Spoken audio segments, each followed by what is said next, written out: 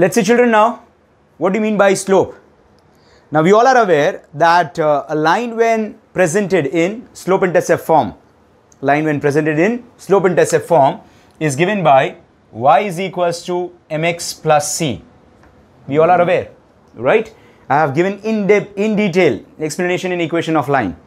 So still, only to make you understand once again, what is the concept of slope. Over there also we have done, here also I'll give you. When I say y is equal to mx plus c, we all are aware that m is nothing but slope, where m is nothing but a slope. That means every single line, those who want that what is x and c, let me tell you that also, x is nothing but my variable, x is nothing but my variable and c is nothing but my y-intercept. c is nothing but my y-intercept. Everything is what I have given in-depth explanation in equation of line where I have given you what are the different types of lines, right? Standard lines, inclined lines, everything is mentioned to you. Coming back here, we are here to understand what is a slope. So whether the line is a standard line or an inclined line, every single line has slope. Every single line has slope. So what is the way to find out slope? What is the formula for slope? What is the formula for slope? Say this is what a coordinate axis is. Say this is what an inclined line is. Say this is what an inclined line is. Don't you think so that this particular line is making some kind of angle with x-axis, theta? This is my x-axis. It is this inclined line making an angle theta with, right? The answer is such inclined line will always have some kind of slope. This inclined line will have some kind of slope and I intend to find out what is slope. Slope is nothing but, slope is nothing but tan theta. Slope is nothing but tan theta. Let me write down over here. Slope is nothing but designated by letter M. Designated by letter M is nothing but tan theta. So said exactly how to find out slope. Say for instance, say for instance, given to me that this particular line makes an angle of 30 degree. Given to me that this particular line makes an angle of 30 degree. Say for instance, then I shall write down here tan 30 and tan 30 is nothing but 1 by root 3 say for instance this is 60 degree. I shall say tan 60 which is root 3 i hope my children are understanding this. Right so slope of a particular line is nothing but tan theta. Are you getting me? Now if you are asking that sir how did this particular thing came? Right? So let's understand this. There is one more formula for slope. So let me first write down that formula for slope as. Slope is also given by slope is also given by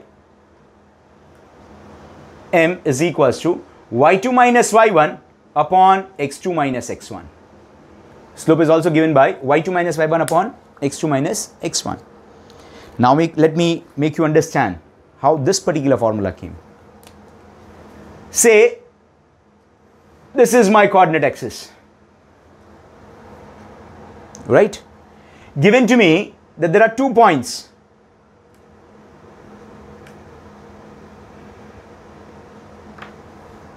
Don't you think so that this particular point will have some kind of coordinate? Indeed. This particular point will have some kind of coordinate? Yes. What I shall do is, I shall draw a line parallel to x-axis passing through this point. I shall draw a line parallel to y-axis passing through this particular point. I was supposed to find out slope of the line passing through these two points. So what did I do so? I intend to find out the slope of this particular line. I intend to find out the slope of this particular line. There were two points given to me, right? I drew a line parallel to x-axis, I drew a line parallel to y-axis let this be the point of intersection then if you are if you are remembering in distance formula we have we have done that in order to find out the distance between two points parallel to x-axis is given by x2 minus x1 distance between two points parallel to y-axis is given by y2 minus y1 Is this the angle made by this particular line with line parallel to x-axis? So even this theta and this theta are the same. Why? Because the lines are parallel, mind you. So if I want to find out, if I want to find out the slope, if I want to find out the slope of this line where the coordinates are given to you, uh, given to me and not the theta. Here the theta was given to me. Here the coordinates will be given to me. So what is tan theta? If I apply, if I apply the basic formula, slope is, slope m is nothing but tan theta, tan of an angle. So what is tan theta over here? Opposite upon adjacent. Tan theta is opposite. What is opposite? y2 minus y1. Adjacent, x2 minus x1. This is how we came into this particular formula. So how many formula uh, we have for slope? We have two formulas for slope. One is slope is tan theta. One is slope is y2 minus y1 upon x2 minus x1. Now the question arises. Question arises when to use what? Very simple. If I know, uh, if theta is being given to us, if theta is given to us, 0, 30, 45, 60, 90, mind you, standard angles should be given to us. I can make use of tan theta. Now, if you want that standard angles given to us, then you should remember this also. Mind you, you should remember this also. What are the values? Tan 0 is 0. Tan 30 is 1 by root 3. Tan 60 is root 3. Tan 45 is 1. And tan 90 is not defined. ND not defined. ND not defined. Are you getting me? right? So if somebody asks me that what is uh, what is the value of slope if theta is known to me, I shall simply say slope is nothing but tan theta, tan of the given angle. And if somebody tells me the coordinates of two points, likewise 1 and 2, say let this is BA and this BB, whose coordinates are known to us, then what which formula may I should I make use of? I should make use of y2 minus y1 upon x2 minus x1. Children, can I write down the same thing as y1 minus y2 upon x1 minus x2? Indeed, yes. I explained you this in distance formula. Those who have those who have doubt that how this y2 minus y1 can be written as x2 minus uh, sorry y1 minus y2 upon x1 minus x2, I have an answer for that. So we will write down and we will by heart this one y2 minus y1 upon x2 minus x1. But I'm saying that even this can be written as y1 minus y2 upon x1 minus x2. How? Let's see. I'll make you understand this. y2 minus y1 can be written as y1 minus y2 with a minus sign outside. Math says a minus b can be written as b minus a with a minus sign outside. x2 minus x1 can also be written as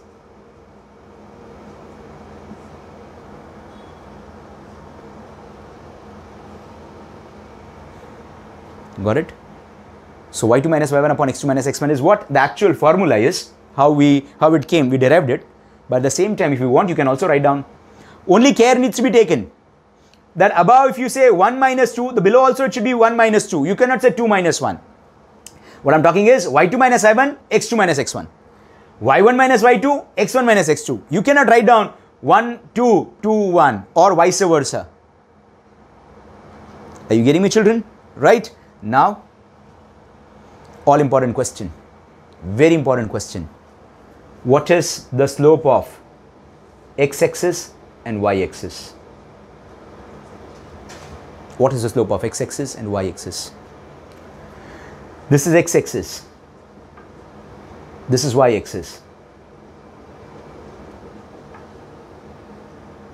Slope of x-axis, slope of x-axis, 0. What makes you say that, sir? What angle does x-axis makes with itself? What angle does x-axis makes with itself?